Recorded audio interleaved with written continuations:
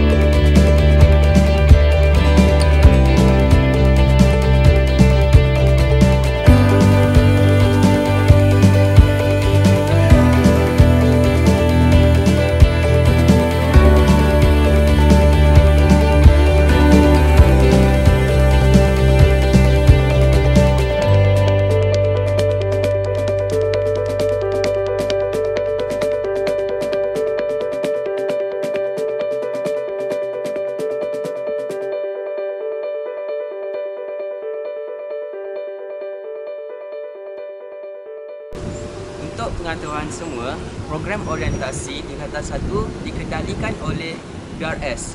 Manakala program orientasi tingkatan 4 dikendalikan oleh BADA dan pengawas sekolah. Akhir sekali, kami dari kru TMS TV mengucapkan welcome back to school bagi semua pelajar SMK Tengku Mahmud. Saya Haziq Haikal daripada kru TMS TV. Assalamualaikum warahmatullahi wabarakatuh.